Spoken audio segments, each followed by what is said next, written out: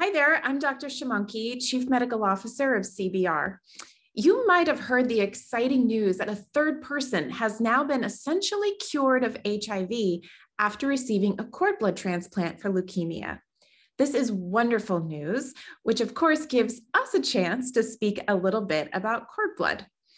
Cord blood is an amazing biological resource.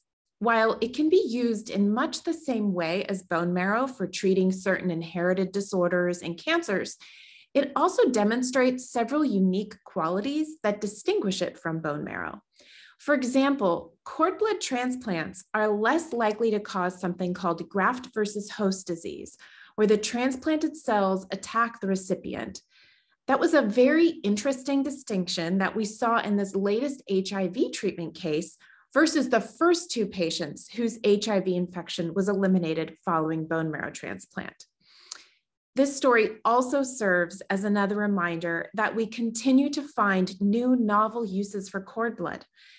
People are often surprised that even though cord blood is approved for transplant treatment of over 80 conditions, such as in this case, over 80% of the units we've released to CBR families over the years have actually been for regenerative medicine use, and the indications for use continue to expand.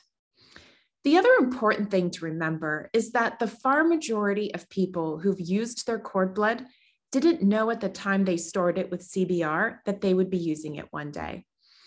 We have one fleeting opportunity to bank cord blood and cord tissue, they're both amazing biological resources, and I would love to see more families take advantage of this opportunity.